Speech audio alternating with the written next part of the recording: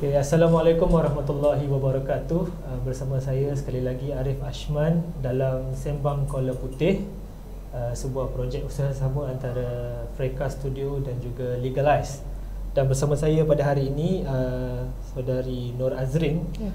uh, Merupakan uh, wakil daripada Legalize Yang akan membincangkan topik kita pada hari ini Berkenaan dengan pembelian rumah pertama Betul, uh, betul. So sebelum tu uh, boleh Nur Azrin boleh uh, kenalkan diri sedikit lah Okay, ha, okay. so hi nama saya Azrin Saya adalah peguam hartanah dekat Legalize atau Aizat Izwan Syakir So mostly case yang saya handle adalah seperti uh, case uh, jual beli hartanah ada kita ada buat gadaian, kita ada jual buat cagaran and anything lah yang with regards to property basically. Kenal dengan topik hari ni, pembelian okay. rumah pertama. So uh, menarik untuk dibincangkan sebab saya sendiri mm-hmm. belum ada rumah pertama lagi so that, looking forward for that so untuk permulaan ni kita nak tahu dulu apakah langkah-langkah yang perlu kita tahu untuk pembelian rumah pertama kita Okey, saya rasa banyak yang range umur macam saya yang 20, 20-an, 30-an ni yang macam dalam proses nak mencari rumah pertama lah. Betul. Mungkin bukan untuk Mungkin untuk duduk sendiri, mungkin yang baru berkahwin untuk duduk dengan pasangan hmm. atau maybe untuk beli for investment purposes. So memang penting lah untuk tahu what's the step that need to be taken yang perlu diambil sebelum kita beli rumah pertama ni. Pertama sekali, kena korang kena tahu berapa bajet korang. Okay. So saya selalu gunakan konsep 1 per 3 daripada gaji. So hmm. maksudnya seperti for example gaji 3000 kita darab 1 per 3 so bulanan yang korang mampu untuk bayar adalah dalam range 1 1000 macam tu lah. So from that budget kita pergi ke next step which is cari lokasi yang nice. Memang mana yang korang nak yang mungkin dekat dengan tempat kerja atau mungkin dekat dengan family sendiri. Untuk pengetahuan semua yang property dekat KL dengan Selangor landed lah eh saya cakap takkan ada property yang bawah 450k. Baik ha. semua. Memang uh, tak ada property yang bawah 450k unless korang try untuk pergi luar negeri macam Negeri Sembilan atau Melaka hmm. mungkin akan adalah landed property yang bawah 300k. Okay. Uh, so once the set location mana yang korang nak tu tengok betul-betul area location tu. Okay. Uh, macam korang check dia punya rate uh, harga rumah dekat situ, check dia punya sewa harga uh, kat area situ sebab mungkin korang takkan duduk dekat rumah tu for selamanya betul. Mungkin oh. akan pindah tempat kerja atau macam decide untuk jual rumah tu. So benda-benda ni perlu di di apa orang kata diambil diambil kira. tahu dulu lah, diambil kira sebelum kita uh, pilih location kan. Lepas tu untuk yang duduk kat KL Selangor janganlah pula rasa hampa bila tahu harga rumah kat sini tinggi sebab kita ada skim government uh, yang disediakan oleh government lah yang kita tahu rasanya rumah WIP yang kita biasa dengar rumah WIP kita ada Prima kita ada Selangorku PPR so untuk orang-orang luar sana yang ada bajet lebih rendah mungkin korang boleh go untuk rumah-rumah yang uh, skim under skim kerajaan. So once dah settle location budget korang cari agent. So agent ni during uh, proses agent ni korang kena ada at least 1k lah dalam tangan oh, untuk booking fee selalunya. So apa-apa pun sebelum beli rumah memang kena ada budget. So agent ni akan help you lah dia akan cari, uh, bantu you dari segi apa. Uh, mungkin you nak viewing rumah, you nak tengok rumah tu macam mana and apa dia akan kira lah uh, apa rate bank yang sesuai untuk korang and dia akan apply kan loan untuk korang. So once dah dapat agent, kita akan proceed dengan uh, apply loan lah. So dekat sini apply loan uh, korang macam biasa bagi slip gaji apa semua uh, bank akan check and mana-mana yang sesuai korang akan dapat letter offer uh, letter oh. offer and then sign okay so once dah settle yang bank ni kita akan proceed dengan uh, satu proses yang memerlukan lawyer lah ni this is oh. where I can I, I masuk into the picture lah uh, so oh. lawyer yang akan handle sale and purchase agreement ni so the, during this uh, process um, korang kena expect untuk keluarkan dalam 3 hingga 5% daripada harga rumah Baik. just untuk yuran guaman. uh, so ada so during uh, lawyer punya phase ni um, lawyer yang akan prepare semua dokumen korang je sign and tunggu je uh, bank untuk disburse and korang akan dapat rumah pertama so saya kalau saya ambil sikit daripada tadi tu kalau 3 ke 5% tadi untuk lawyer fee lah. Lawyer fee sahaja. So kalau kita ambil rumah 100 ribu walaupun sukar eh 100 ribu ni so dalam 3 ke 5 ribu betul. kalau um, for example macam rumah 300k lah kita cakap rumah prima rumah Selangor kan dalam range 300k ah, so dia punya yuran guaman uh, expect to spend dalam 9k hingga 15k betul. So macam saya cakap awal tadi apa-apa pun sebelum nak beli rumah memang kena ada duit, kena ada bajet.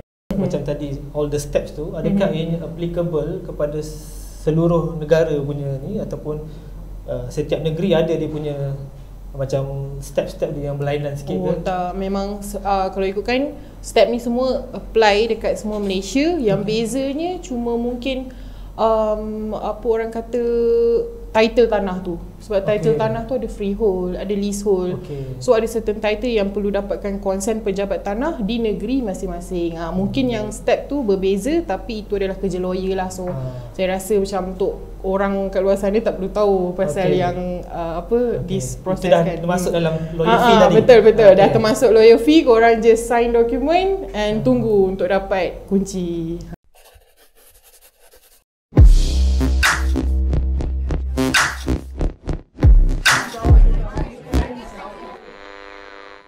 Baik, so sebelum uh, kita proceed further Kita nak remind kembali yang Pembelian rumah pertama ni uh, Di Kuala Lumpur dan juga di Selangor Untuk RM450,000 ke bawah adalah, adalah agak sukar Untuk jadi melainkan uh, Seperti yang di, disebut tadi uh, Mana-mana daripada skim pelajar negeri atau skim persekutuan lah. Betul, betul, betul.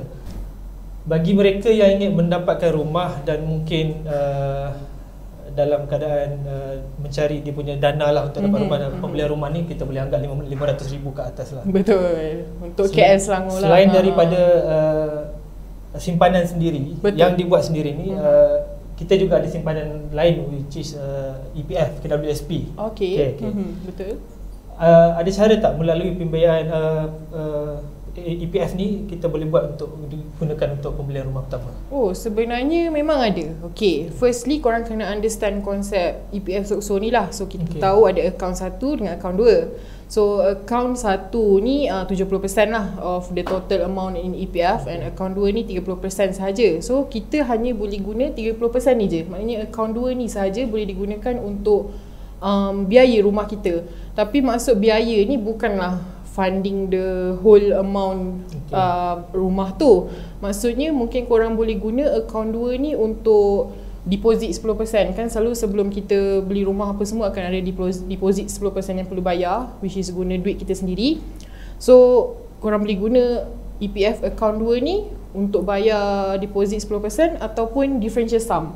Uh, differential sum ni maksudnya harga rumah tolak harga loan kan kadang-kadang ada baki kan mungkin okay. kita tak dapat full loan betul uh. mungkin kita ada, ada mungkin rumah harga 100k kita dapat loan 90% 90k okay. uh, so ada balance 10k ha 10k tu kita boleh gunakan EPF account 2 ni untuk bayar campur dengan um, apa 10% deposit tu bila kita dah follow step tadi uh-huh. dan kita dah faham dengan uh, pembiayaan dan cara untuk mendapatkan uh, dana melalui EPF juga okay bila kita dah settle all the step tu berapa lama diperlukan untuk mendapat kunci yang pertama eh? sebenarnya kita bila dah settle kadang-kadang kita marah juga ni lama sangat proses ni betul betul berapa lama proses um, selalunya saya punya saya perasan lah apa yang pembeli selalu buat eh bila dia dah sign SPA di expect Oh saya sign, saya terus dapat kunci Oh tu semua salah, tu semua salah okay. Dia macam, okay katalah ni kita bincang property subsale lah eh. Maksudnya okay. bukan pro- property yang ada developer, subsale um, kita akan expect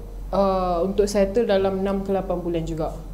Okay, lepas tu macam saya mention earlier, kita ada dua jenis uh, property, freehold dengan leasehold. So ni pun berbeza lah, maknanya okay. kalau property ada consent, dia akan ambil masa yang lebih lama, 6 hingga 8 bulan and Uh, kalau tak ada halangan, tak ada apa orang kata tak ada consent apa semua ni boleh settle dalam masa 3 bulan. So apa yang nak saya nak sampaikan kat sini, once korang sign uh, sale and purchase agreement tu, Baik expect untuk dapat rumah dalam masa 6 hingga 8 bulan lah. Ha, macam tu.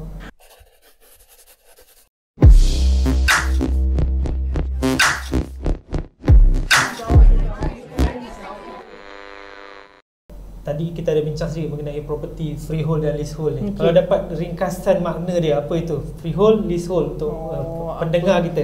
Ha. apa beza lah Beza lah, freehold ha. dengan Ha. leasehold ni dia ni lah beza dia freehold ni adalah tanah yang kita pegang untuk selama-lamanya Faham. uh, leasehold ni kita selalunya tanah yang dipegang untuk certain amount of time Baik. uh, selalunya kalau tanah yang uh, dekat mana-mana area pun memang akan dipegang untuk jangka masa paling maksimum 99 tahun so Hmm. itulah apa apa orang kata maksud ringkas lah untuk Ah, uh, freehold dengan leasehold Okey, baik. Uh, so kita dah faham step untuk pembelian rumah pertama, kita juga dah tahu kita cara nak dapatkan dana selain daripada dana simpanan sendiri, Mhm. kita juga ada cara melalui akaun EPF Mm-mm.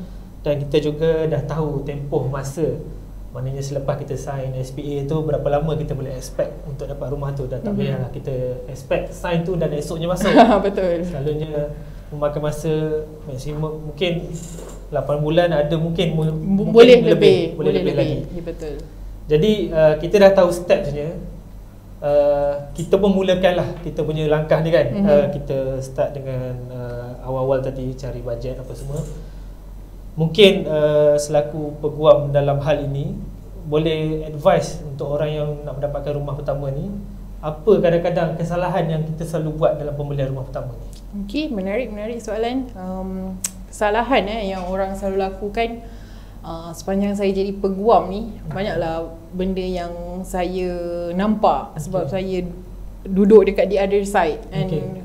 pembeli pun komplain dekat saya. So apa yang saya nampak uh, bila Okay, sebelum beli rumah ni korang tak check rate harga rumah kat sana Macam saya cakap earlier kan Tak check rate harga rumah and tak check rate sewa dekat situ. Sebab macam saya cakap Bukan selamanya kita duduk dekat rumah tu. Hmm.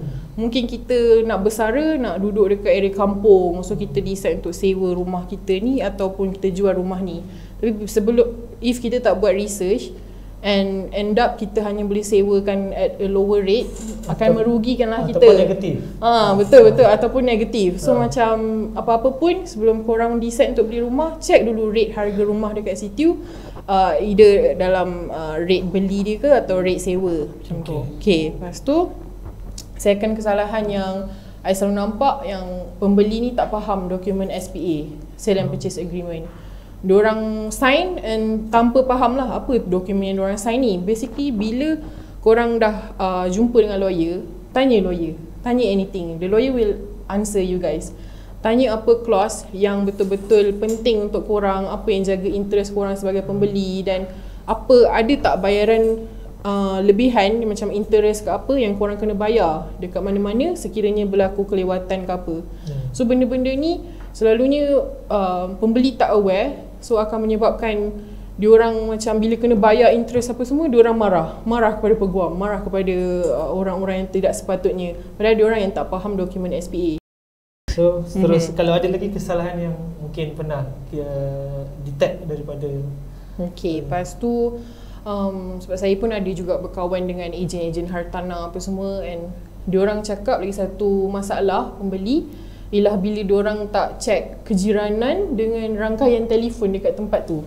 Macam okay. okay, for example macam saya pakai telco, telco U Mobile and ada certain-certain tempat tinggi yang kita tak uh, macam mana dia punya telco tu tak ada rangkaian dekat situ, tak ada connection. So macam for example dekat saya punya office ni pun dia punya connection is very hard and Oh, okay.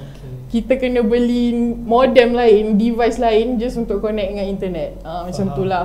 Uh, so macam Oh, benda-benda macam ni pun kita perlu consider lah sebelum beli rumah. So tak nak lah nanti kalau korang dah pakai telco ni apa semua, tiba-tiba masuk rumah baru nak kena tukar, Hmm. Kena tukar telco, telco. dah incur more cost. So benda-benda ni korang kena take note and other than that check kejiranan, check kejiranan. Okay, maksudnya macam pergi waktu malam pun boleh. Korang kena pergi waktu malam check kawasan tu.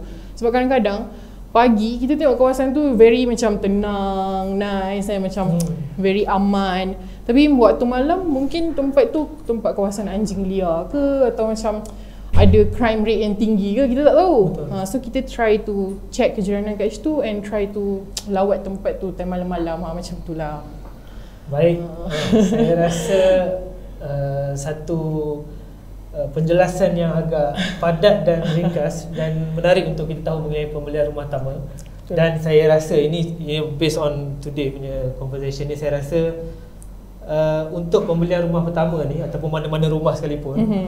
uh, kita jangan ada sikap FOMO lah fear of missing out uh, kadang-kadang kawan-kawan kita ni yang yang sebaya dengan kita uh-huh. ni kadang-kadang semua dah ada rumah pertama kan betul uh, upload ke story maknanya kita nampak oh ni dah ada rumah yang uh-huh. tu yang tu dekat Denai yang ni dekat sana kita ni dah macam semakin berusia tak ada rumah pertama tapi bila kita tahu the steps ni maknanya even kalau kita ambil kisah pasal kesalahan tadi mm-hmm. saja kita tahu yang sebenarnya kita, untuk membeli rumah pertama ni uh, banyak perkara banyak faktor yang kita kena ambil tahu lah. uh, so i think uh, itu sahaja untuk hari ini uh, terima kasih uh, saudari Nur Azrin for uh, penjelasan yang kita dapat untuk pembelian rumah pertama ni. Uh, stay tune untuk next episode untuk sembang Kuala Putih. Thank you